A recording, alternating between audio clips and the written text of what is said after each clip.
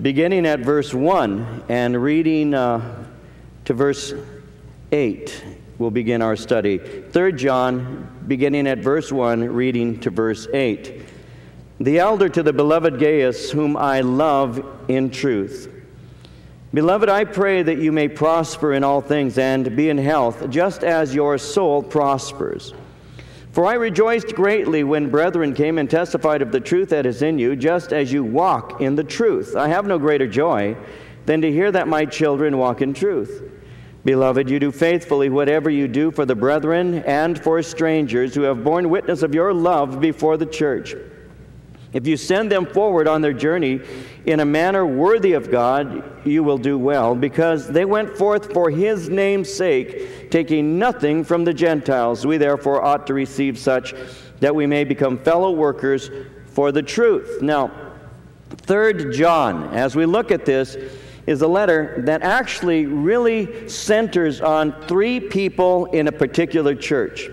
The three people that will be seen are first found in verse 1. You have this man by the name of Gaius. The second man that you speak of, that he speaks of, is found in verse 9, a guy by the name of Diotrephes. And the third man that he speaks about will be found in verse 12, a man by the name of Demetrius. So you have these three individuals that are spoken of. The, uh, Gaius and Demetrius are, are mentioned in uh, what we would call a positive light, but Diotrephes is spoken of in the negative. And you'll see that in just a moment as we go through this particular letter uh, this evening. Now, there are parallels between 2nd and 3rd John, and that gives us the reason to date it around uh, 90 AD, which is basically the same time that 2nd John was written. It was written specifically to encourage a man in a church by the name of Gaius. And the encouragement is for him to continue his Christian service uh, to those that he is ministering to who are in need. So the first reason is to encourage a man by the name of Gaius to continue his Christian service. And the second reason is to expose the pastor of the church for being prideful. Now, isn't that interesting? But that's what it's all about. He's going to expose the prideful power hunger of a pastor by the name of Diotrephes. And we'll see that when we get to verses 9 through 11. And so, what is taking place here, and let me, uh, let me set the stage for you. What has taken place is, as a man by the name of Gaius has welcomed some missionaries into his home, and, and he's been caring for them. He's cared for their various needs, including taking care of their meals. He's, he's lodged them there. He's given them finances and other necessities. And in doing so, what he is actually doing is simply living out a Christian life. He's just basically doing what Christians ought to be doing. He's caring for the needs of a brother and brothers uh, in the Lord who have a need. That's all he's doing. He's, he's following uh, scriptural commands. The Bible throughout, from Old Testament to New, commands that we ought to do things that are good. They call those good works, and that's what we're supposed to be doing. That's simply all he's doing. The Bible's, eh, Bible says in Galatians 6:10, as we have opportunity, let us do good to all people, especially to those who belong to the family of believers. In 1 Timothy 6:17 and 18, Paul said, Command those who are rich in this present world not to be arrogant, nor to put their hope in wealth, which is so uncertain, but to put their hope in God who richly provides us with everything for our enjoyment. He says, Command them to do good, to be rich in good deeds, and to be generous and willing to share. And so, throughout the Bible, you see commands related to how we are to treat one another. And if I have opportunity to do good, I am to do it. And as I do good, I may very well be entertaining angels without me even knowing it. So God's command throughout the scripture is for us to do something good for one another. And basically, that's what Gaius is doing. Gaius is actually serving the Lord as he has been taught to do. He's caring for missionaries and helping them out. He's, he's making sure that they have a place to stay. He's making sure that they have uh, food to eat. He's making sure that they're cared for financially. That's simply what he's doing. But the pastor of the church, Diotrephes, is not happy about it. He actually is opposing uh, Gaius doing this kind of ministry because he wants preeminence in the church, because the pastor is lording it over the flock. He doesn't like the idea that Gaius is doing something good without his permission and it creates a tremendous problem there. He has a selfish ambition in his heart, he longs for power, and that is what has motivated this response. Now, the Bible tells us very clearly in various passages, for example, Philippians 2 3, that that isn't our heart. That's not what we're supposed to be like as believers. Uh, Paul had said, Let nothing be done through selfish ambition or conceit but in lowliness of mind let each esteem others better than himself. In 2 Corinthians 1.24, uh, Paul had said, We don't have dominion over your faith. We are fellow workers for your joy, for by faith you stand. And, and so the whole bottom line is, is that as a believer, especially as a pastor, Diotrephes should not be lording it over the flock. Gaius is actually doing something that he ought to be doing. He's simply obeying what God has taught us in the Old Testament, as well as the teachings we find in the New, to do good unto all men. Now, if false teachers had entered in, even as we saw in 2 John, false teachers had been entering in and were attempting to um, usurp the authority of the Apostle Paul and the apostolic doctrine. If false teachers were to have been entering into the church, Diotrephes did have the responsibility of uh, telling Gaius, listen, do not be uh, helping them along the way because they're false teachers and they're undermining the work of God. And so, on the one hand, if a false teacher were to enter into this church and it was brought to my attention, and it has in the past been brought to my attention, and people have said to me, listen, we have somebody that we're trying to help financially. Um, what do you think about it? Who was starting to show up in the church, and I discovered that this person was was a person that ought not to be helped for a variety of reasons. I will let you know. I ought to let you know. Uh, you know what? Even as I'm sharing this with you, I just remembered something that was brought up to me two weeks ago. And I don't know, maybe somebody else in this church has had this happen. And uh, it's happened to two members of our church at different times and in different places. And I don't know. There's a fellow apparently here in the city of Chino who. Uh, is calling himself by the name the hobo preacher. I don't know if anybody's heard that. The hobo preacher. And anyway, somebody approached me a few weeks ago and said, Pastor Dave, the hobo preacher says hi. And I said, I just talked to Raul. Why is he calling? No, um, I thought he had a home. But anyway, um, I said, the hobo preacher? And he goes, yeah. He was at the gas station and and he said, uh, this friend was saying, I rolled up and I was putting gas, and he came rushing up to me and said, Listen, I need some money. I'm a preacher and I'm on my way to San Diego, and I've got uh, diabetes, and I already, uh, I just need some money for some gas so I can go there, and, and uh, I'm a preacher. And so this friend of mine said, Well, are you? I'm a Christian also. Really? Where do you go to church? Or while I go with, you know, Chino Valley? Oh, Pastor David Rosales? Oh, yes, he's a friend of mine. Say hi. And anyway, so he walks up to me and he says, uh, The hobo preacher says hi. And I said, I'm sorry, I've never heard of him. Um, I, I, don't know exactly what to tell you other than you got ripped off. Um, he burned you, man, you know. It sounds to me as if he, he, um, he took you for, uh, for some of your money. I said, you know, so bless the Lord. I mean, you know, you try to help somebody and all that wasn't probably the wisest thing you do. And I said, you probably should never hand people cash. I never do. Not even my wife, but, you know, there's a good reason for that. And I said, I never hand cash to anybody. If they really need gas, I'll put the gas in myself and pay it myself because sometimes I'll just take the money and, and run off and use it for something else. You just don't hand them cash. Oh, okay. Do you think I did wrong? I said, You never do wrong trying to do good, you know, but I think you made a mistake by not using discernment. But let's see. Then, about two weeks, maybe three weeks later, somebody here in church after service approached me and said, The hobo preacher says hi. I said, Oh, no. really? How's he doing? You know, give him my regards. Same story, same exact story. And I said, You know, uh, unfortunately, you're getting ripped off. This is somebody who's discovered that this church exists here and apparently uh, heard my name somewhere, probably from one of my members, and um, he's just repeating it. And so, if any of you get hit up, uh, by somebody calling himself the hobo preacher, you are being warned right now. Because that's really, you're really not to do that. Uh, if somebody is using the body of Christ for their own, you know, selfish means and all, that really is never to be uh, supported. You're not to support that kind of thing. And, and if there's a false teacher, then of course they're not to be handed a pulpit. That is something that we find in Scripture uh, constantly. We had already seen that in 2 John. Remember in verses 10 and 11 how it says there, if, if anyone comes to you and, and does not bring this doctrine, do not receive him into your house nor greet him. For he who greets him shares in his evil deeds. It's already been stated that false teachers are not to be encouraged or supported in any way by the body of Christ. They're to be rejected uh, and never allowed to uh, occupy a pulpit. They're actually to be avoided. That's what Romans 16 17 says. Uh, he says, I urge you, brethren, note those who cause divisions and offenses contrary to the doctrine which you learned and avoid them. And so, on the one hand, if, uh, if the individuals that Gaius was helping out, were false teachers, well, then Diotrephes would have the responsibility to say, don't be doing that. Don't be helping them because you're not, uh, you're not really supporting somebody who is genuine. But on the other hand, Gaius is actually acting responsibly. He's helping people, he's helping these missionaries because they're genuine.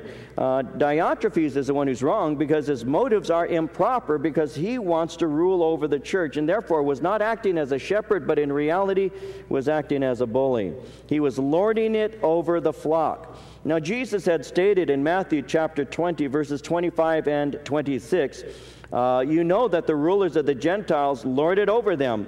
Those who are great exercise authority over them. It shall not be so among you. Whoever desires to become great among you, let him be your servant.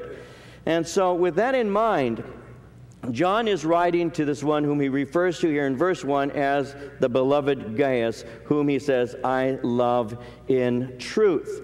You might find this interesting. He uses the word beloved and love seven times. He also uses the word truth and true seven times because love and truth are always working together. And so he says in verse 1 The elder to the beloved Gaius, whom I love in truth. He begins with a simple introduction. He's the last surviving apostle of the original 12. He's the leading elder in the body of Christ. He's writing to Gaius, whom he states, I love in truth. So obviously, this is a personal letter to a member of the church that is pastored by Diotrephes. And, and it's a simple affirmation to a man who's doing good. He's saying, I love you, and I love you sincerely. I love you in truth. Verse 2 Beloved, I pray that you may prosper in all things and be in health, just as your soul prospers. Now, this is what is called a general blessing.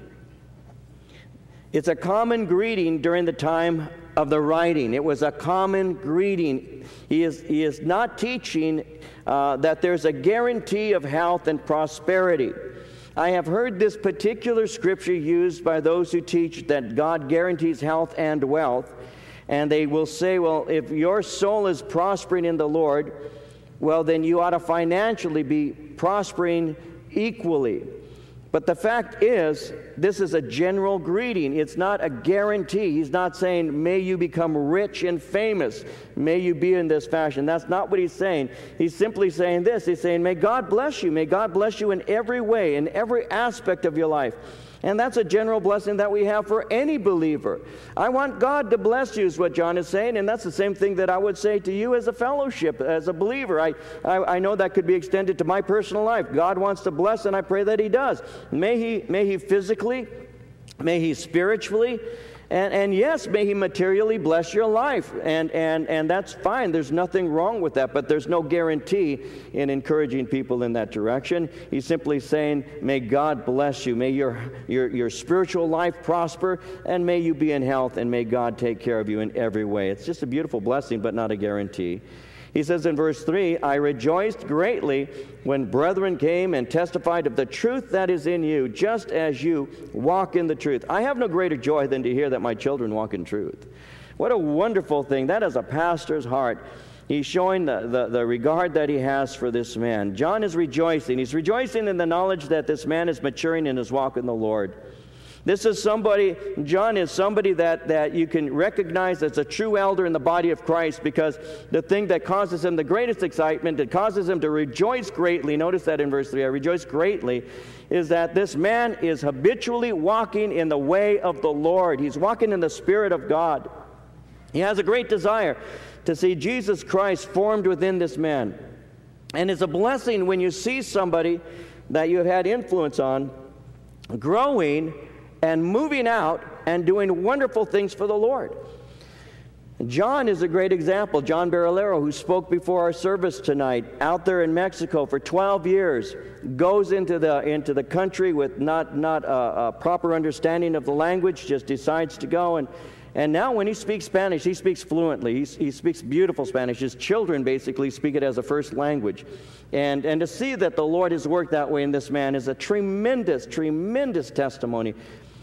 We're having the uh, Senior Pastors Conference, Calvary Chapel Senior Pastors National Conference right now, and, and uh, it's in Murrieta.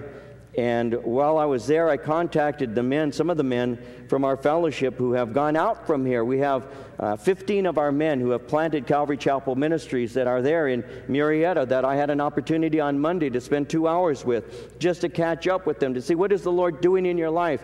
And we have them in, in Lake Havasu and we have them out in, in Great Falls, Montana, and we have them in, in uh, Oneonta, New York, and we have them in, in uh, Corpus Christi, Texas, and various places. And and uh, as far away as Ontario and Upland, even, and, and to the, uh, you know, all the way out to Los Angeles and, and, and Watts. And, and the Lord is doing tremendous things. And what a blessing it is to sit there with these guys and to know that every one of these men that I'm speaking to, uh, they're, they're my sheep, and yet they're pastors over their own flocks now, and God is using them in tremendous ways. And some of them are pastoring churches of several hundred people, and it's a blessing to see that. And, and it's true, when I, when I read this in verse 4, I have no greater joy than to hear that my children walk in truth. I can absolutely say amen to that.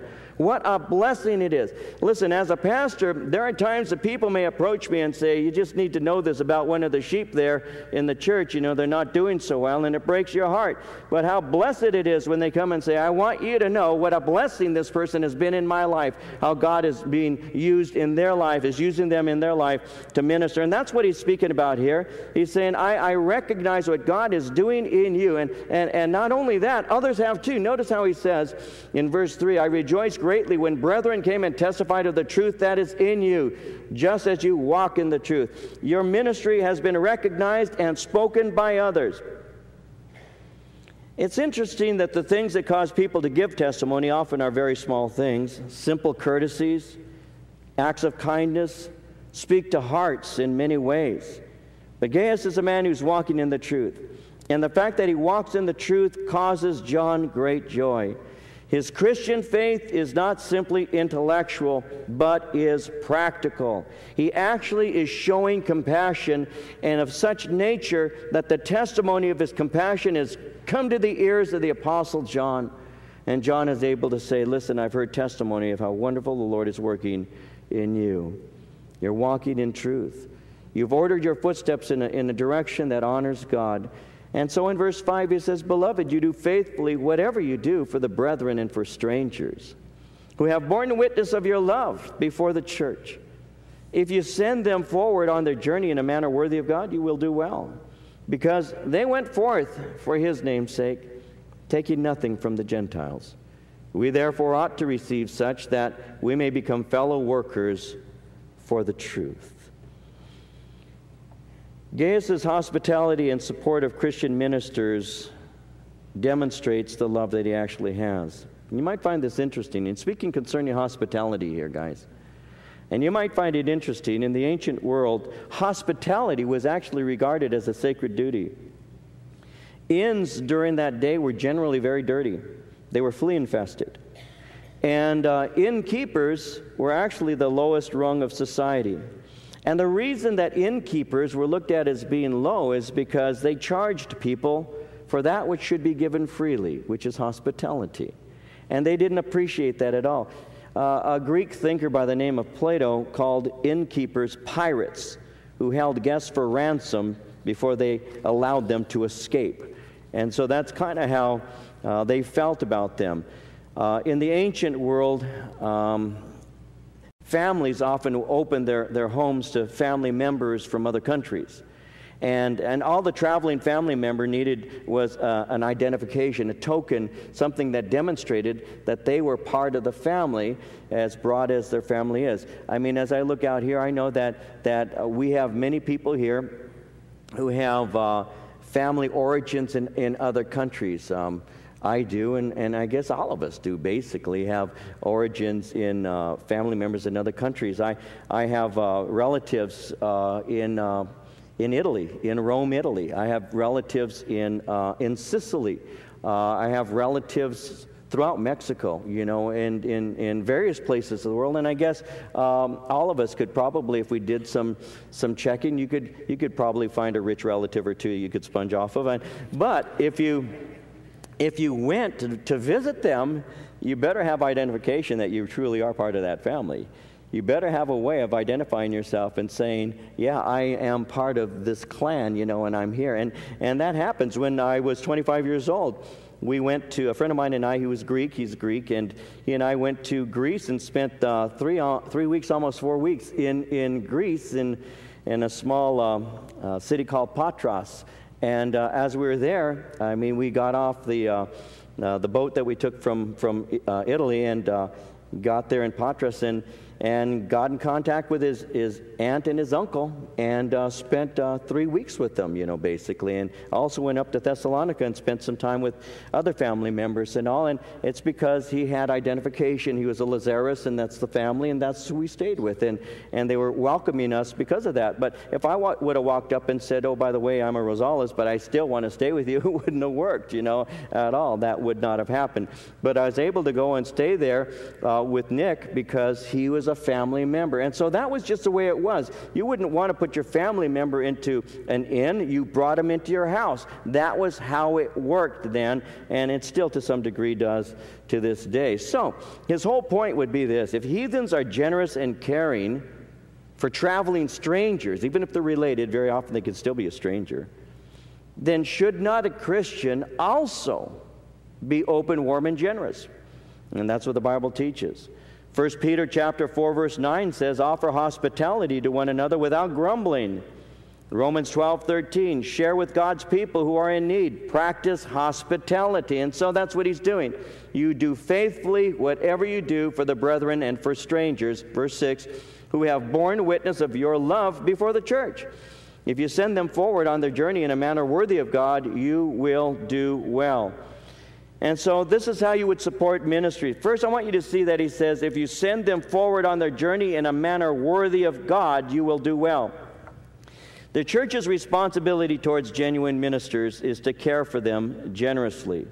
You shelter, you feed, you encourage, you can provide funds for these traveling ministers if they are worthy. You know, not everybody who shows up and claims to be an evangelist or a missionary is to be supported. They have to demonstrate they are worthy. And, and so, one, if you're going to care for somebody, they need to have a proven ministry. So you treat them in a manner worthy of God. When he says you treat them in a manner worthy of God, you treat them as you would treat God Himself. Now, that's an interesting way to put it. You don't grumble against serving, you don't grumble against giving. You treat them as if you are treating God Himself. A second thing he says, they went forth for his name's, name's sake. In other words, they went out for the name of the Lord, for the sake of God. And they did that in the name of God because they traveled in his name. Many years ago, many years ago now, there was a Los Angeles Times reporter who was in uh, an African country, and uh, he was traveling in this particular road, a dirt road, and it was a very small, it was only wide enough really for one vehicle. And as he was traveling in this road, the vehicle in front of him stopped. And when it stopped, began to back up and try to make a Y turn and to come and make a U turn. And it got the, uh, the Times reporter pretty upset because this guy's blocking the small road. He can't get past him. And as he's just moving slowly, trying to make this turn so he can finally turn around and come back at the vehicle. And this, now, now this guy has to pull off to the side of the road to let this vehicle pass. The guy, in exasperation, yells out, Where are you going? For Christ's sake. Well, it just so happens it was Billy Graham. And Billy Graham rolled his window down and said, I go everywhere for Christ's sake. You know, and so when somebody actually is doing something in the name of the Lord, they're going everywhere for Christ's sake. That's the point he's making. Their motives were pure. They went out for the sake of Jesus Christ, that Jesus Christ might be glorified. There are some who have discovered that they can make a better living sponging off the church and calling themselves missionaries. Well, those people are not to be supported. Before I got saved, you know, I, I was the cynical 20 year old. and didn't believe that there was a whole lot of good in the world. And I went to a friend of mine's house, and he had a guy who was there in the house who had claimed to become a born again Christian. I had no clue what a born again Christian was, but I knew who this guy was because this guy was a notorious sponge. We used to call them sponges. I don't know what they're called now. But he would just, he was a sponge. I mean, he would take things from you and all and, and live off of you if you let them. And uh, I, I, really didn't care for this guy. And, and, he was at a friend of mine's house who was happened to be one of my closest friends. And, and uh, I was there watching this guy as he opened up my friend's refrigerator and made himself a sandwich and poured himself a glass of milk and sat down and started to eat. And I'm watching him use my friend's bread and bologna and, and tomatoes and the whole nine yards, and, and it bugged me. It bugged me because I thought, this guy, you know, he's ripping my friend off, and I didn't like it. So I went up to my friend and I said, What's he doing? I said, Why, What's he doing that for? He says, Oh, he said, he's an evangelist. I said, Oh, what? He said, Now, what, pray tell, is an evangelist? Oh, he goes out telling people about Jesus Christ, and, and we support him in his ministry. And this guy was a sponge, and I'm looking at him, and I said, Well, you know, that, that, that's not really a smart thing to do, man. He's ripping you off. And I said, He hasn't said a thing about Jesus Christ to me. And I was the only guy there besides the sponge and my friend Bill. And you know what the guy did? I'll never forget this. He finished eating his sandwich, finished drinking Bill's milk, and he walks. I'm the only one in the front room. He picks up a Bible and he looks around as if there's a crowd, and it's just me. and he says, Does anybody here want to get saved? and I looked at him and I said, Not today. He goes, Okay. Puts the Bible down and finishes the sandwich. I never forgot that. And I was not a Christian yet, but I know what John is talking about. If you go out in a manner worthy of Christ, you are to be supported. But there are people who take advantage of the goodness of the body of Christ, who will rip you off in the name of Jesus because they claim to be believers. And so he says, No, you support them. And I want you to see this. It's basically what I said a little bit earlier about the hobo preacher. He says, If you send them forward on their journey in a manner worthy of God, you do well, because they went forth for his name's sake, taking nothing from the Gentiles. You want to hear a ministry principle that you've heard a thousand times in one way or another? If not here, you've heard it before. Where God guides, God provides. When God is in the ministry, He supports the ministry. You don't have to go out and beg for funds. You never have to do that. The Bible tells us in Matthew chapter 10, 9 and 10, Jesus speaking to his men, and they're, out, they're about to go out and preach. They're in their first ministry of preaching. Jesus is speaking, and he says, Do not take along any gold or silver or copper in your belts Take no bag for the journey, or extra tunic, or sandals, or a staff, for the worker is worth his keep. The worker, the laborer, is worthy of his hire. God will supply. That is a ministry principle. Where God guides, God provides. And if you are doing the work of the ministry, the Lord will support that ministry. You know, I've heard the stories of the pastor. One in particular actually was a traveling minister who was in a church, and he was standing there. As a matter of fact, I'll get a little more particular about it. He was in Pastor Chuck's church a long time before Chuck was pastoring Calvary Chapel.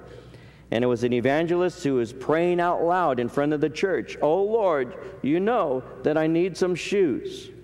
And you know that I wear size 9. And, and you know that they need to be brown because they have to go with that suit you gave to me. So, in Jesus' name, Lord, if you could provide a brown pair of shoes, size 9, that are nice enough to wear with the suit, oh, I'll be so grateful. Amen. So, the next day, somebody gave him some shoes. Miracle of miracles. And he went up in front of the church and said, Um, praise God, God supplied shoes. And Pastor Chuck said, No, no, somebody in this congregation that you were able to weasel out of a pair of shoes gave you the shoes.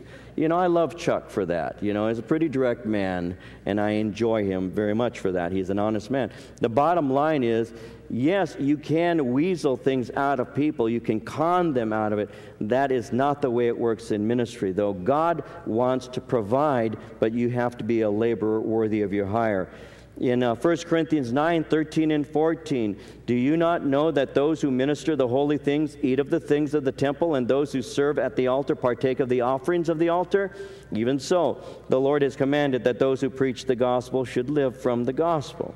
Now, notice in verse, verse 8 how he says, We therefore ought to receive such that we may become fellow workers for the truth. In giving, and I want you to see this because it says we ought to receive such, become fellow workers. In giving to them, we are partaking in the work as well as the fruit, as well as the rewards. Now, I don't know how many of you understand that yet.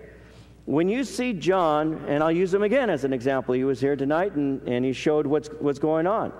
And you see those hundreds of prisoners and the many who are coming to Christ and all.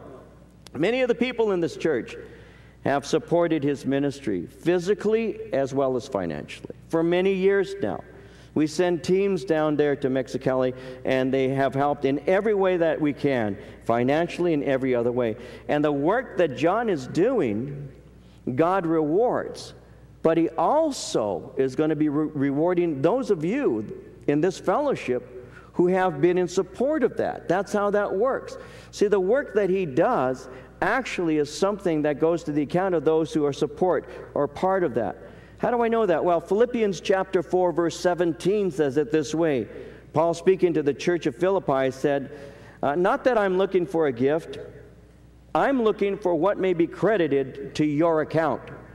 When you give your gifts to the Lord, and in whatever capacity that you do, whether it's through supporting a, a missionary, whether it's being involved in supporting uh, Operation uh, Christmas Child or, or uh, Gospel for Asia or the Billy Graham Evangelistic Association or Harvest or Somebody Loves You or whatever it is that you do, and you give your gift in that way, as those evangelists, as those teachers, as those ministers go forth, even here in this church, as we go forth and do the work of ministry as a congregation, your finances that support that ministry actually are used to bring people to Christ, to mature them, and they go and produce fruit, and it all comes back into your account. You'll be surprised when you stand before the Lord at the amount of reward you're going to be gaining.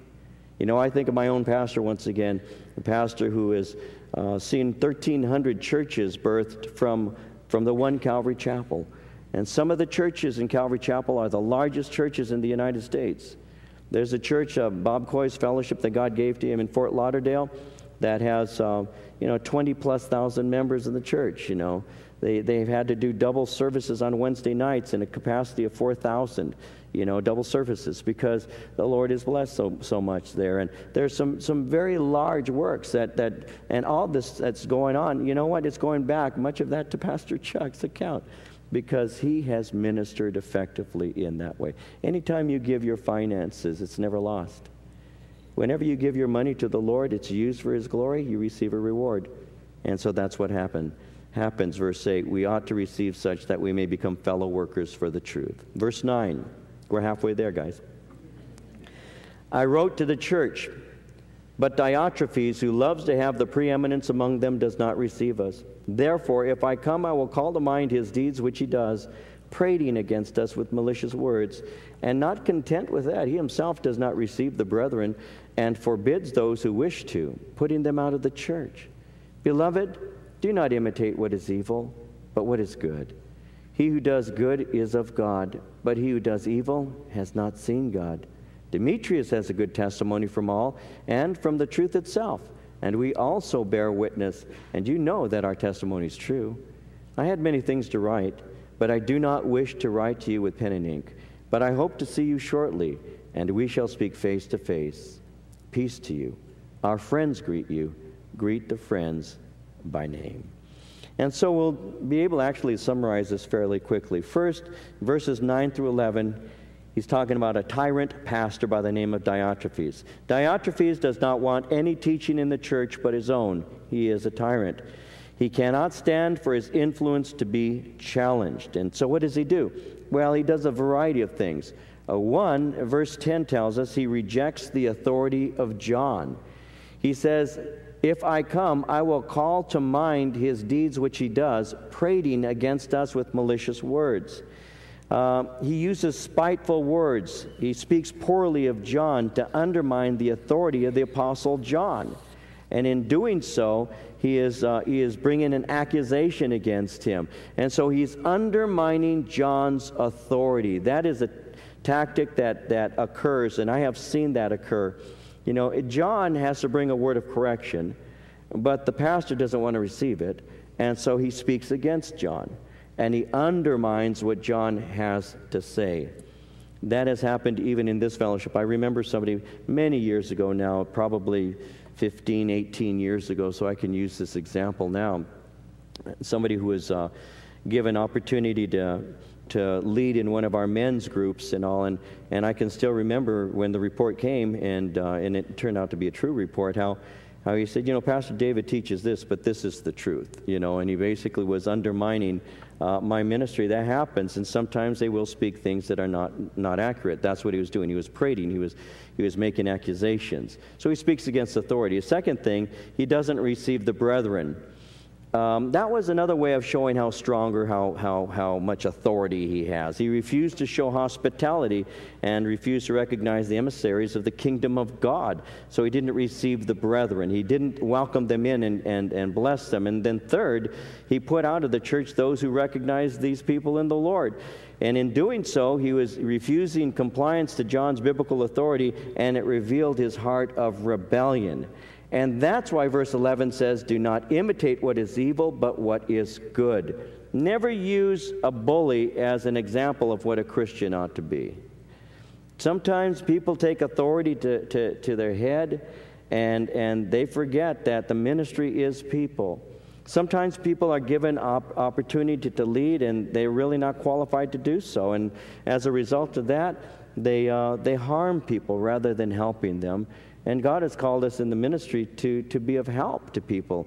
But that wasn't true with Diotrephes. He was so threatened that the authority that he possessed uh, would be undermined that he actually excommunicated people and spoke against John because John threatened his position. He says, No, this is not right. Therefore, don't use him as an example. Do not imitate what is evil, he says, but what is good. In other words, you need a better example, so follow the Lord and follow John's example.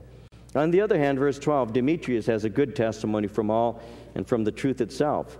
And we also bear witness, and you know that our testimony is true. This is a great example to follow. He's blameless, and the facts speak for themselves. Uh, Demetrius has a good testimony from the truth itself. The, the facts speak for themselves. Because as you see him, what you're seeing is what he really is. So, he says, just uh, imitate what is good and use Demetrius as an example. A um, couple of thoughts and then we're going to close, but this is practical and I hope it helps you. When I first got saved, I had no clue what a Christian was. None at all. I didn't know any, other than the handful of guys that I hung around with. I began to ask the Lord if He could do something for me, and I've asked Him to do this in the past, and He's done it. I asked the Lord, could you give me an example that I can follow? Somebody who actually lives out the message. And so I believe God has given to me s- several men in my life that are examples of faith to me. You know, I, have been a Christian for a while. It's, you know, I'm not a brand new convert. I've been around for a while. But I asked Lord, can you give to me a good example? Uh, up to this point, I can say that my pastor Chuck has been the best example of a believer that I have. And, uh, and I love, I love that man to pieces. I mean, I just love my pastor to pieces, you know. And he's just a genuine man. Loves the Lord, loves people. He always fights for the underdog.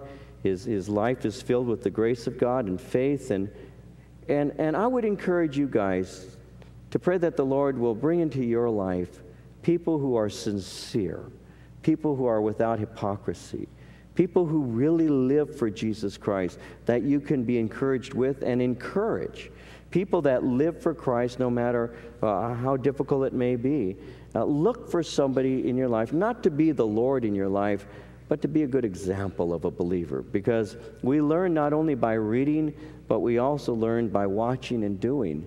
And, and for me, uh, I, I can read the word love, and I don't know exactly what that means, but if I see somebody who has a sacrificial, giving spirit and a caring, compassionate manner and a gentle approach to people and a patience and a kindness about them, then I start saying, so that's what love is. So that's how it works. You know, that's what love does. You know what I'm saying? And, and I asked the Lord for that a long time ago. I would encourage you to, to make sure that you have people in your life that are mentors who have that kind of effect. Because, listen, it's easy for us to uh, do bad things.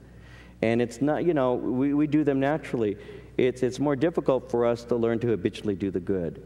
And if I have people who encourage me and, and, and stimulate, provoke me towards good, that's a good thing. Encourage, I encourage you to, to look for somebody like a Demetrius, a man who had a good testimony from all and from the truth itself. And he says, and I can bear witness this is a good man. Look for somebody in your life that God can use to help you to grow. And then finally, he says, I had many things to write, but I don't wish to write to you with pen and ink. I hope to see you shortly. When I come, in other words, uh, and I see you face to face, I'll take care of Diotrephes. It'll be taken care of when I get there. So he says, You need to be aware of the fact that I am coming. But hidden within this is uh, when I come and see you face to face, and it will be shortly, um, well, things are going to be taken care of. And so you just wait until I show up, and everything will be just fine.